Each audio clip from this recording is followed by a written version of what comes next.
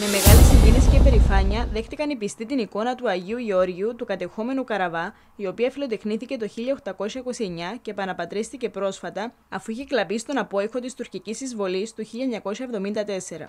Η εικόνα είναι αφιέρωμα του ηγούμενου της Ιεράς Μονής, αχυροποίητου Μελέτιου. Το 1974 χάθηκαν τα ίχνη της και εξήχθηκε παράνομα εννοείται από τους Τουρκούς και εντοπίστηκε τον περσινό Σεπτέμβριο, 2017 δηλαδή, να, να διατίθεται προς πώληση σε έναν ε, δημοκρατικό νίκο Χόλερ στη Σιζρίχη.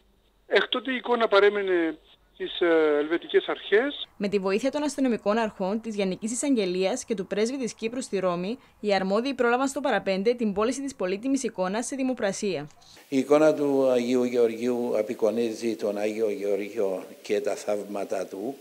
Είχε δωρηθεί από τον ε, ηγούμενο της Ιεράς Μονής Αχυροποίητου του Καραβά στον νεόχτιστον τότε ναόν του Αγίου Γεωργίου του Καραβά.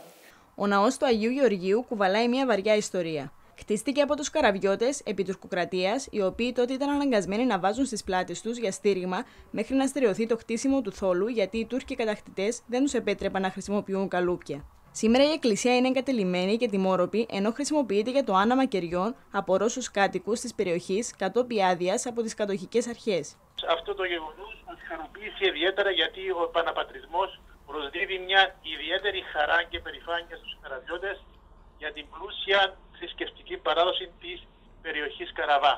Όπως αναφέρεται στη σχετική ανακοίνωση, η εικόνα βρίσκεται στα γραφεία της Αρχιεπισκοπής και θα καταβληθεί σημαντική προσπάθεια από τον Δήμο Καραβάς σε συνεννόηση με τη Μητρόπολη Κερίνιας, έτσι ώστε να εκτεθεί για προσκύνημα των καραβιωτών το συντομότερο δυνατόν.